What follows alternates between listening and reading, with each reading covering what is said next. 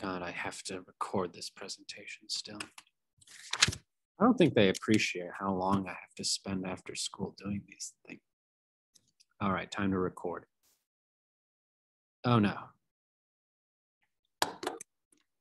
Uh, okay, I'm not starting over. Well, anyway, hello everybody. Welcome, welcome, welcome. Today we are going to start Unit 7. Unit 7 is a big one, as you'll see uh, later on, but we are going to start at the very beginning, a very good place to start.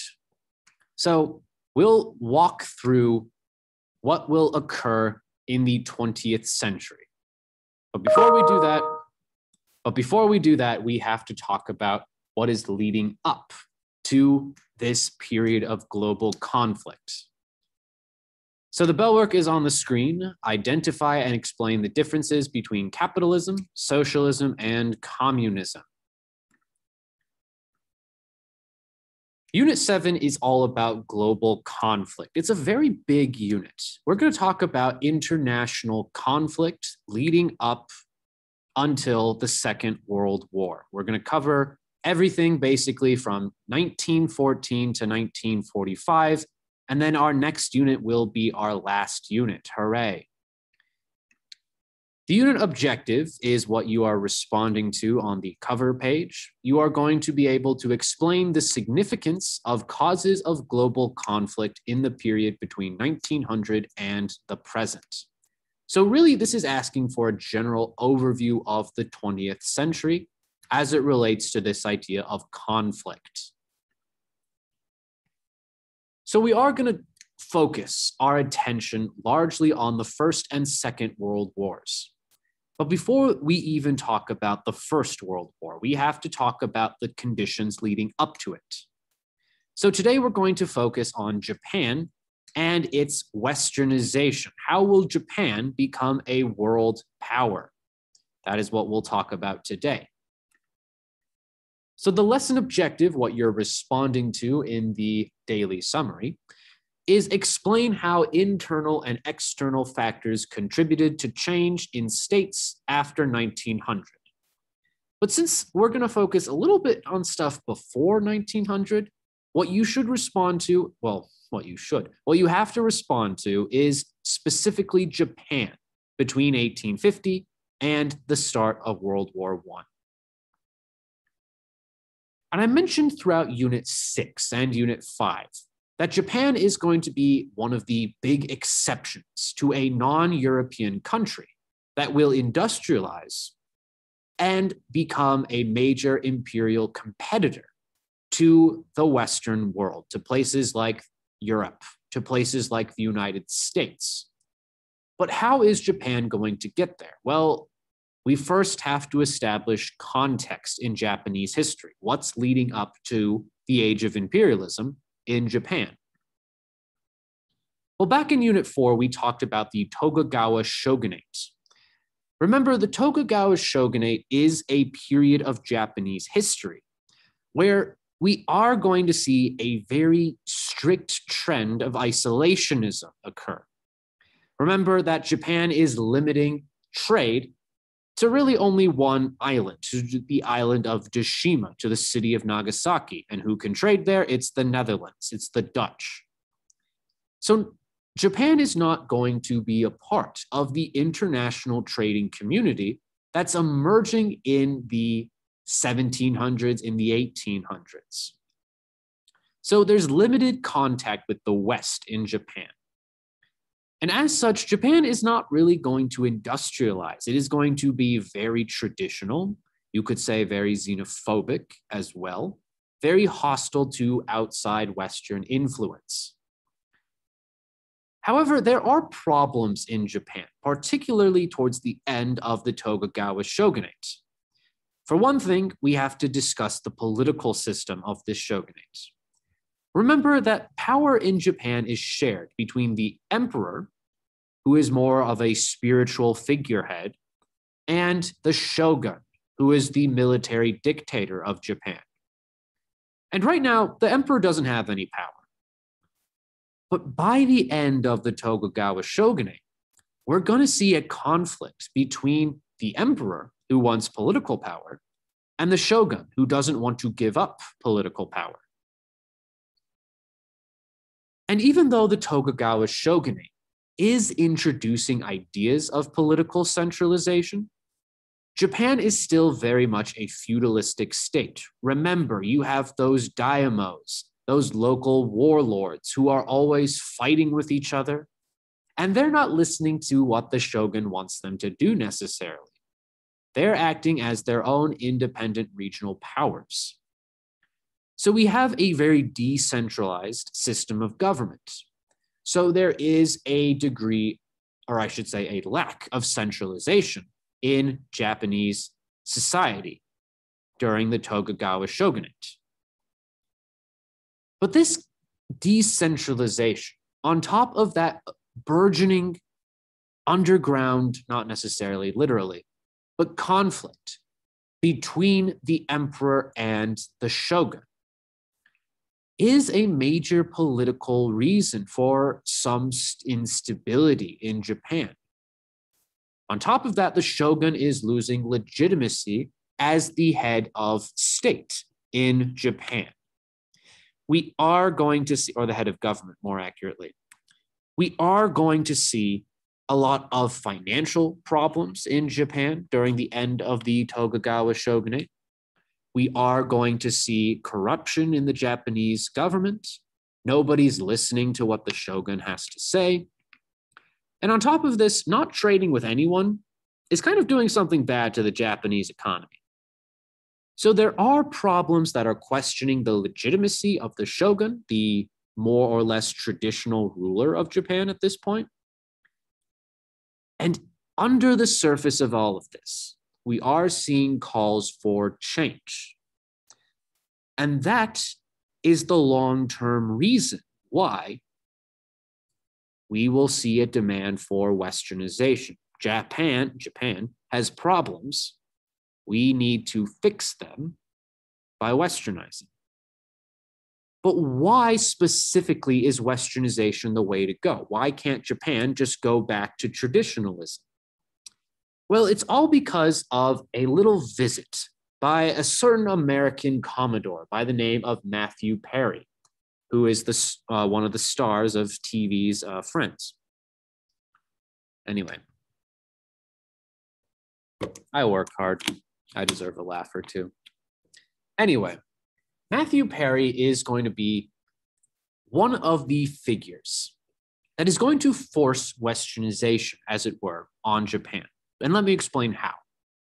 Perry is going to be sent by the president of the United States, a dude by the name of Franklin Pierce.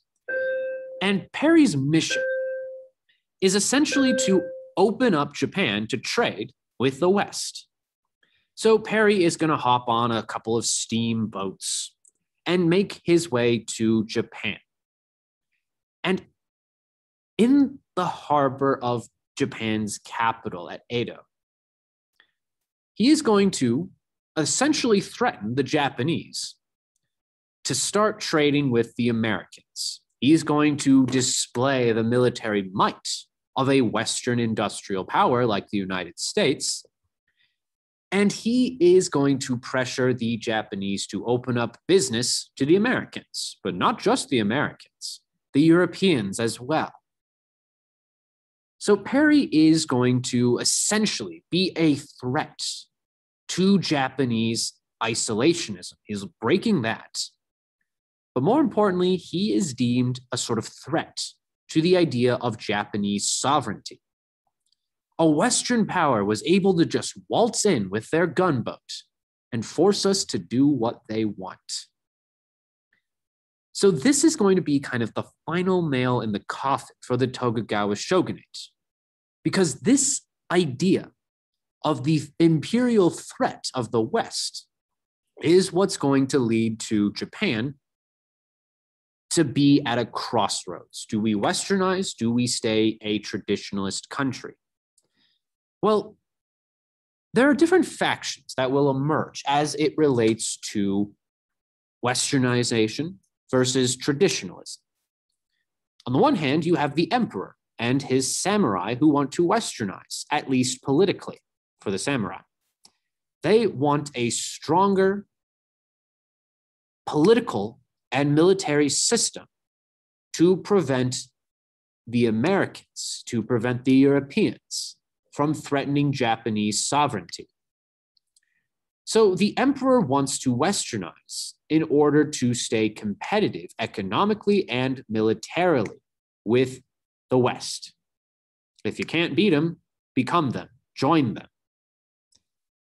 And yet the shogun, the more or less traditional leader, really since, in this case, since the 1600s, is going to stick with traditionalism. Things are going fine. We have to reform Japanese society, sure, but we're not going to stoop to the level of the West. So, this challenge between westernization versus traditionalism is going to lead to internal conflict within Japan. And it's between these two factions, between the emperor and between the shogun. And this conflict is going to spell out into civil war. We call this the Boshin War. And essentially, the result of the Boshin War is the victory of the people who want westernization of the emperor. So the emperor at the time is a dude named Emperor Meiji. And he is going to initiate what we call the Meiji Restoration, which I will explain in just a second. But suffice it to say, this is a time period of westernization in Japanese history. This is a time period where Japan will undergo significant social, economic, and political changes and I will explain what those changes are. And like I said, these changes are called the Meiji Restoration. We will see the centralization of power in the hands of the emperor. We're going to see the westernization of the Japanese economy through industrialization. We'll see the westernization of the Japanese military through industrialization. And we'll also see the creation of a national identity in Japan, very much similar to what we'll see in Europe. So, in general, the Meiji Restoration, as I've been saying, this series of changes in Japan leading to the downfall of the Tokugawa shogunate. It's going to largely be led by factions in Japan who want westernization, mostly from the military. The military, especially, is concerned with this idea of falling behind from the West. They're scared that Japan could be overtaken. It could become a China with spheres of influence. It could become, God forbid, Africa. So, this military force in Japan is largely going to lead the changes during the Meiji rep- Restoration. So, the main goals, the main ways that we will see Westernization is through political centralization, through industrialism and industrialization, I should say, through westernizing Japanese culture, and also the creation of a Japanese empire. How do we become like the West? If the West is doing so well, we need to uh, copy what they're doing. And Japan, as a result of the Meiji Restoration, is going to become a major international player in foreign policy. Japan will surpass even some European countries in terms of military and imperial strength. But first, we got to centralize all of Japan to create the conditions for westernization. And how do we do that? Well, the goal of centralization is to have unquestionable authority in the hands of the emperor. This is the emperor Meiji right there. So, how do we create a centralized state? Well, first, we got to find out how to do that. We have to have a model of how to create a centralized state. So Japan is going to send foreign observers across Europe and in the United States as well. What works, what doesn't work. The Japanese aren't a fan really of American democracy. The Japanese aren't really a fan of that parliamentary system in Great Britain. But you know who they do like? It's going to be the Germans and their increased militarization. So, a lot of Japanese political reforms will reflect developments in the German Empire.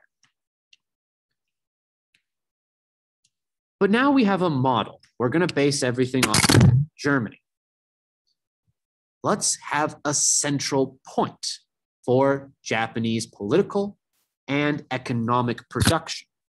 Let's make a new capital. We're going to see the rise of Tokyo as an industrial city and a political city in the Japanese Empire. Tokyo is going to become uh, very similar to Western cities like Paris or Berlin or London or New York City. It's a major industrial center. And that's going to be very much reflected when we talk about industrialization. Japan has a new center, and that's Tokyo. But we have to have power unquestionably in the hands of the Japanese emperor. So we have to end decentralized government. We have to end feudalism. And we are going to see the decline of the daimyo class. They are going to largely go away and are going to be replaced by a new system, the prefecture. Prefects are essentially regional governors. And unlike the daimyos, they are answerable only to one dude, and that is the emperor.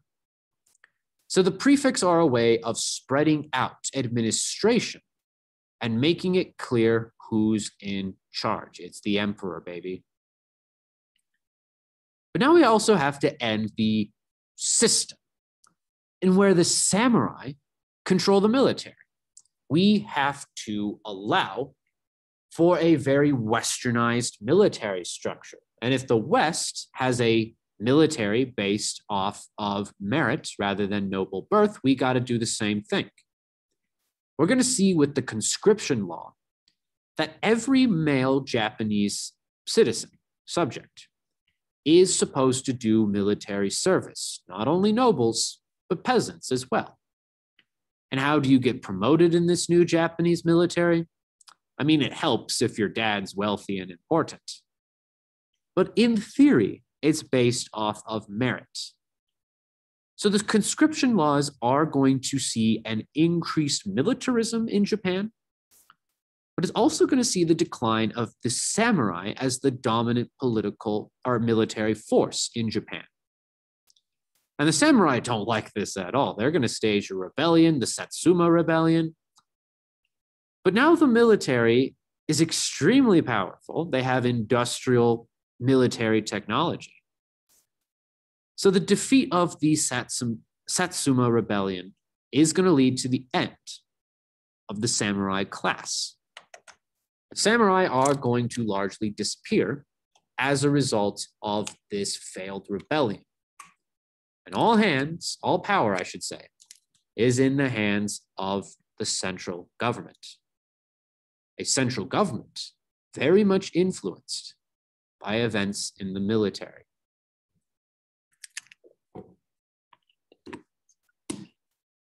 But Japan's not done with westernization in the political realm. We are going to see the creation of an imperial diet. This diet is basically modeled off of parliamentary systems in Europe. And yet, this diet, even though it's intended to be a sort of political representation, Political representation is always important because it makes people feel like they should pay taxes. Again, if we go back to that idea of no taxation without representation, people tend to get mad if they're not politically represented when new taxes are made. That's why we see this imperial diet forming, ostensibly a representative body. And yet, the diet is largely going to be filled with members of the Japanese military members who are going to say and try to influence what the government does, what the emperor in specific does. So the imperial diet is showing the influence of the military in Japanese government and supposedly in favor of the centralized absolute monarch, the emperor. But how is Japan going to back up this drive to establish and reaffirm its independence from the West? Well, we have to establish Japan's economic independence and additionally, its military independence through industrialization. It's to prevent economic dominance of the West and to prevent military dominance as well. Turn on. Come on. Well, I'm going to do this. Okay, whatever. So we are going to see industrialization to encourage an industrial economy, but also to encourage a westernized and industrialized military. So, how do we create the conditions for technological advancement? Well, we have to have a public education service. We're going to see the building of universities, of state institutions of research, research into new military and scientific advancements. We'll see the establishment of universities and technical schools, of public schools, all with the design to encourage technological innovation. But to encourage industrialism on an economic level, we have to copy what basically the West did in the Industrial Revolution. So the Japanese are going to send observers to industrial countries like the United States, like Britain. And they are going to see how these countries industrialized.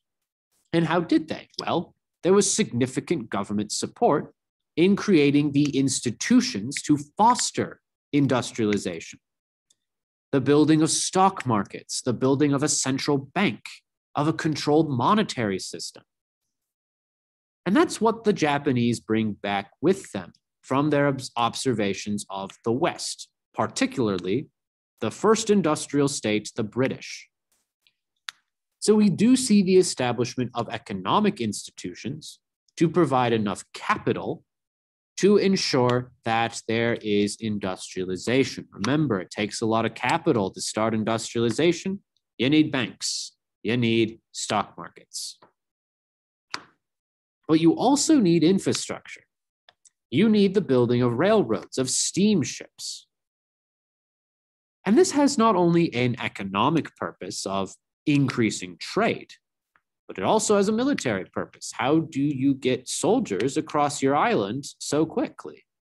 You can either send them on a steamship or you can send them on a train. So we are seeing the building of industrial infrastructure to support further industrialization. And yet, what is the problem with industrialization in Japanese society? For one thing, it's going to lead to a culture clash between the traditional groups of people in Japan, more conservative people, but also between westernized Japanese people, mostly that idea of Western liberalism. So those who want to westernize are contrasting with those who want to remain traditional. But another major problem is a logistic one. Japan's a series of islands, and islands are great to defend, but they're terrible at getting natural resources. Islands suck in general. So, this need for natural resources, just like Great Britain, is going to drive a demand for imperialism as we'll see. But another way that we're going to see change in Japanese society is through intentional westernization and through more or less accidental westernization. So, the goal of westernization in general is to create a Japanese national identity of something to kill and die for, something that will unite Japan in opposition to potential invasion by the West. So we see westernization to promote feelings of nationalism. If nationalism is what the European countries are doing, let's do it too. And how do you promote nationalism? Well, you promote it at a young age. you start to define what it means to be a Japanese citizen in basically the equivalent to kindergarten. So, public education, something that we'll see in industrial countries as well, is going to encourage feelings of Japanese national identity. What does it mean to be a good Japanese citizen? In the United States, for example, what does it mean to be a good American citizen? That's what you learn about in your public school education. Schools are centers of indoctrination. I say that, um, I'll, I'll let that sink in. However, this idea of a national identity is very much focused on that valuing, that appreciation of the central political figure in Japan, the emperor. But moving on, how are we going to encourage a increased Japanese population? Well, you got to have Western medicine. The Industrial Revolution is leading to longer life expectancies. Let's do that too. Let's have westernized medicine in Japan to encourage life expectancy, to encourage more Japanese citizens being produced. So the adoption of Western medicine is for mostly logistical reasons. But as a result of industrialization, we are going to see the emergence of really three ish classes. We're going to see the upper classes, the billionaire class, the heads of new industries in Japan, like Mitsubishi, Nintendo, companies that still exist today. We're going to see the development of a middle class as well. And we're going to see the development of an industrial working class.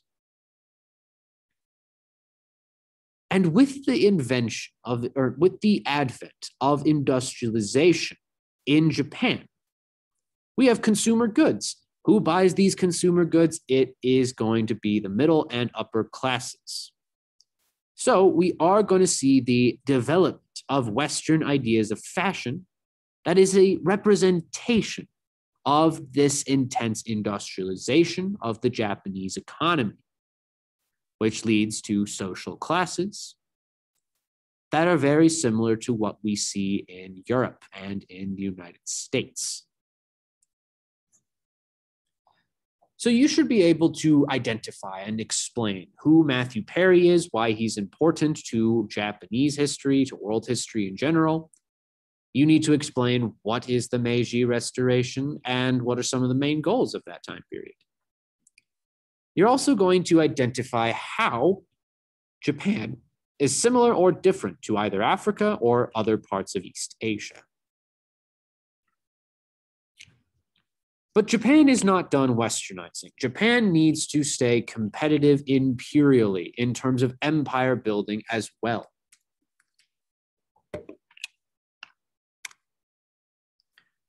So much like the European and American motives for imperialism. Japan has similar ones as well. Japan wants to stay competitive with the West, especially to not fall behind on the idea of an arms race. They don't want to be overtaken by those Westerners.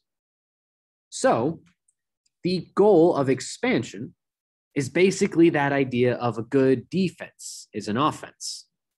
A defense, wait, hold on. I messed up the quote. Uh, hold. I can do it in a Skyrim voice. Um, wait. Um, the best the best defense is a good offense. Am I right? I've played a lot of Skyrim. Anyway, it's that idea of staying competitive with the West. If the West is building empires, we got to build an empire. But again, it goes back to that economic motive for imperialism. We need natural resources. Japan, Great island, but not a lot of natural resources needed for industrialization. So we are going to see among this westernized military class the drive for empire building. We're going to see that with figures like Admiral Yaga, uh, Yamagata Aritomo, pictured in the slide. Aritomo is going to especially lead the buildup of the Japanese Navy in order to take territory in East Asia. He's a major figure in this Japanese imperial expansion. He is going to lead efforts to directly control places like the Korean Peninsula, Taiwan, what was then called Formosa. We also see Japan wanting to stay competitive in terms of spheres of influence in China. So we see this idea of creating a sphere of influence in Manchuria, in the Pacific Ocean community as a whole.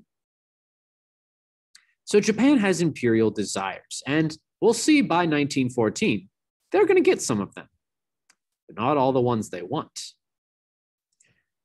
So, how do you create an empire? Well, you need to have a degree of cooperation with other empires.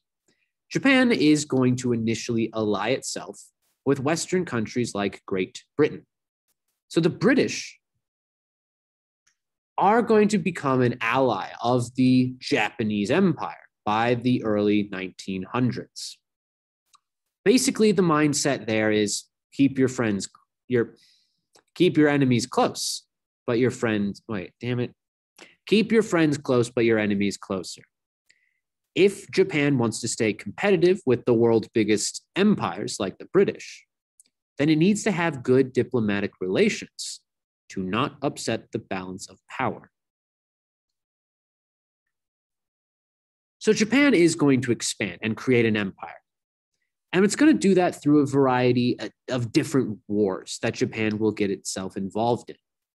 We have the Sino Japanese War, we have the Russo Japanese War, and we have the process of annexing Korea. So let's walk through what these are, why they're important.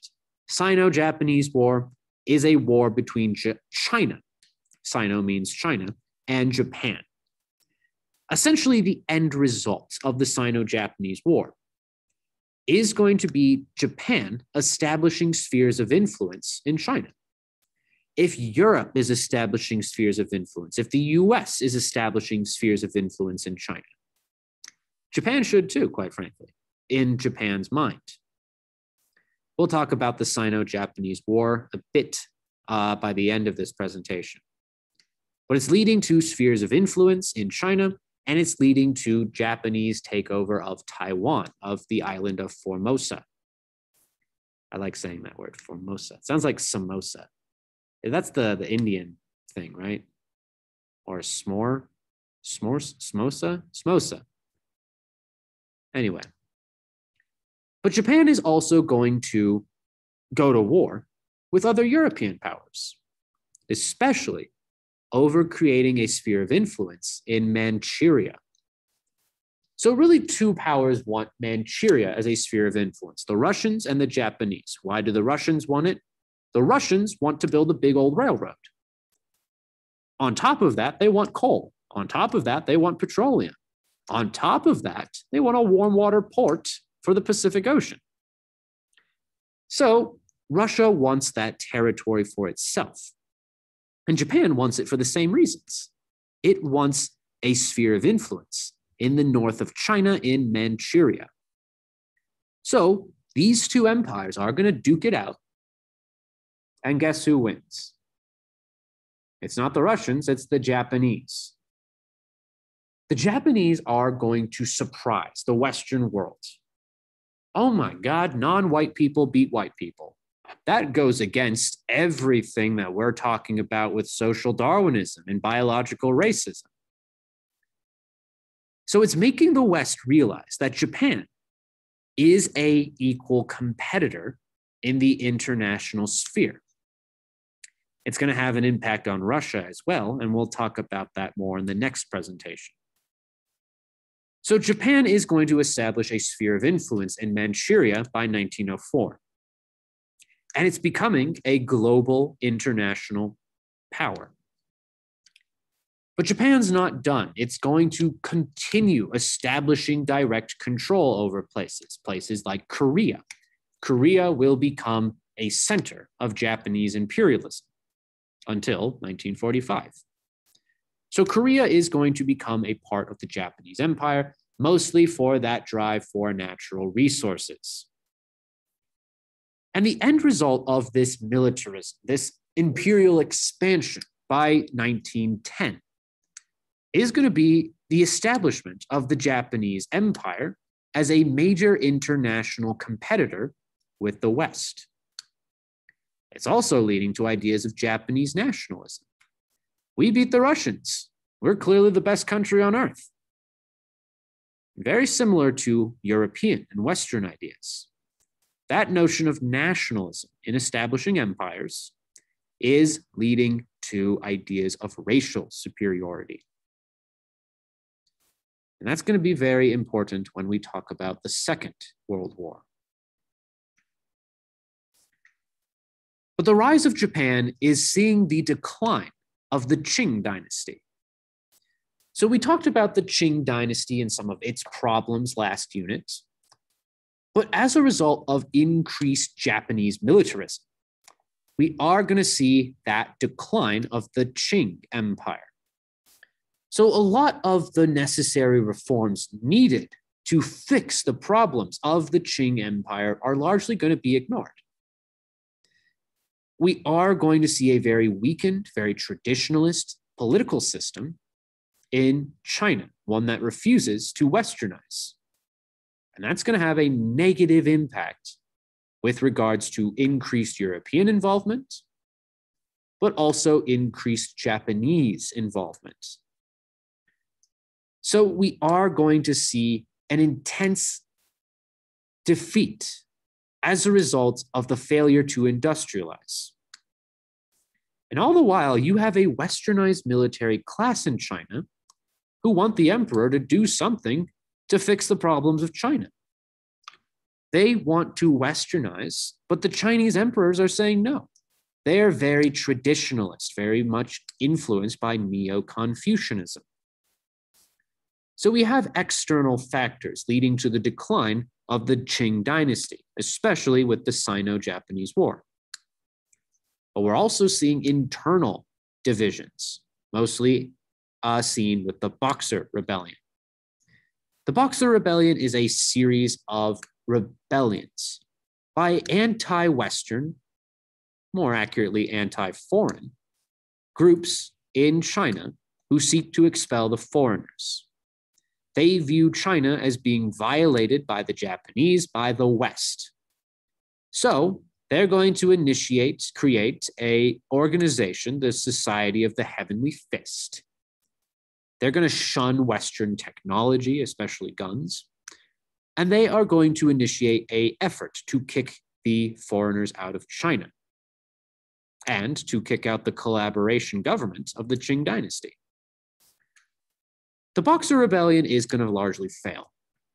It's going to fail because of European, American, and Japanese involvement, an alliance of eight countries, including Japan, is going to violently put this Boxer rebellion down. So China is extremely weakened by Japanese imperialism, seen directly with the Sino Japanese War, but also indirectly with its involvement in the Boxer Rebellion. So the people demanding change in China, this westernized military class, they're going to say, enough is enough. Let's overthrow the Qing dynasty. Let's establish a westernized republic. So we are going to see a revolution in China. We are going to see the establishment of the Chinese Republic by 1912. And this republic is largely going to be led by members from the former Qing dynasty, members of the military especially. But it's going to be a very unstable government. The last emperor of China is this boy right here. He was a young kid when the revolution occurred. And he's going to live until the 1960s, and he's going to see yet another change in Chinese history the rise of communism. We'll talk about that later, of course. So, consider the significance of Japanese imperialism. What is it leading to in Japan? What is it leading to outside of Japan? That's all for today. There's a video about the Meiji restoration at the end of this presentation if you'd like to watch. So thank you for your attention. Have a great day. Peace and love. One love. Uh, Big Money Salvia out. And